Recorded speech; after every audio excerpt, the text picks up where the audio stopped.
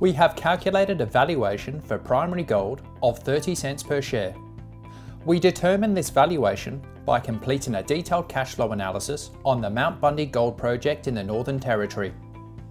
A PDF version of our valuation and financial forecasts is available at the Sophisticated Investor website.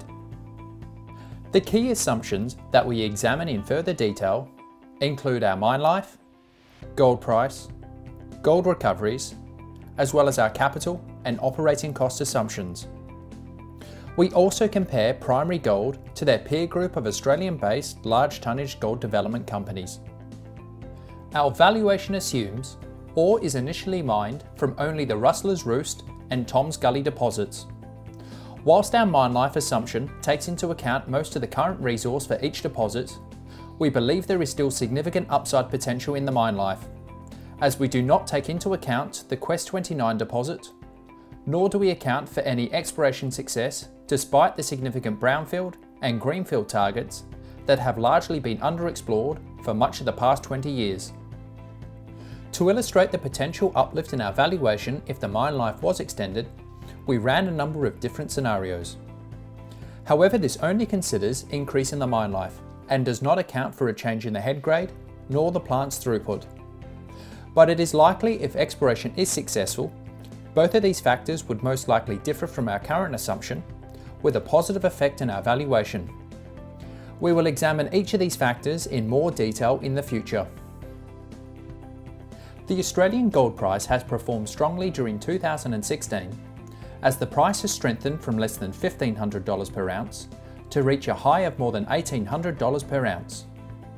Our valuation has assumed a flat gold price of $1,750 per ounce over the life of the asset. But as with all commodities, the gold price will likely continue to fluctuate in the future. We therefore examined a range of different gold price scenarios to highlight the effect on our valuation.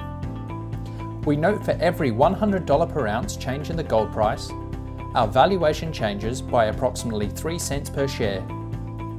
Given the current stage of development, there is a degree of uncertainty regarding a number of our key assumptions.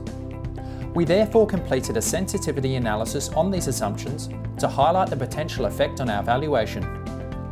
Our analysis found that even on the triple downside scenario, which decreases recoveries, increases capital and increases operating costs, a scenario that we believe is unlikely, our valuation was still higher than Primary's current share price which highlights the robustness of the project. And finally, the table highlights Primary's peer group of Australian-based large tonnage gold development companies. Our investment analysis video provides a more detailed examination of the similarities and differences between Primary and their peer group. However, one key aspect that we do note is that the average valuation per resource ounce of the group was $115 per ounce, which is a significant premium to Primary's current valuation. If the average valuation was applied to Primary's attributable resource, their valuation would be 27 cents per share, which supports our current valuation target of 30 cents per share.